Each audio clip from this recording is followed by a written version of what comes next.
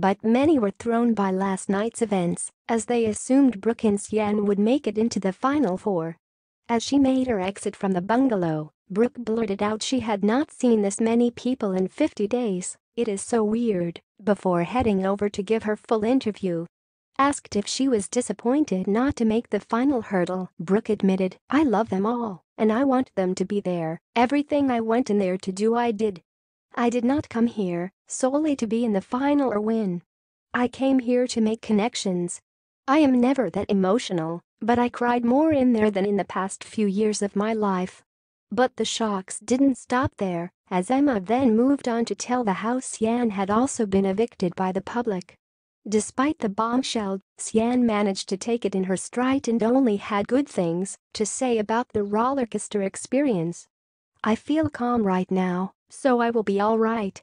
One person wrote, seeing that final eviction and seeing Rylan Clark Neal cry, it's so emotional. I felt that. I hope a channel bring it back, but with the same hosts Rylan Emma. Number BBUK number BBBOTS at Buck.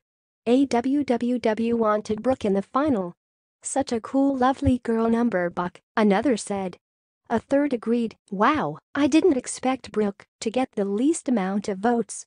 I personally feel like she should have been in the final over Zoe and Cian. Number BBUKX, a fourth exclaimed, no way. Honestly thought they were going to win. At Matt and Hard at Buck. Big Brother returns Sunday night at 10.30 p.m. on Channel 5 for a bumper-long edition. The hugely popular reality series is gearing up for its last ever episode on Monday night on Channel 5 when 18-year-old blogger Cameron Cullen customer service agent Cian Carrigan, 23, will be battling it out against Kara Zoe Jones, 31, and 26-year-old training consultant Akeem Griffiths to be the winner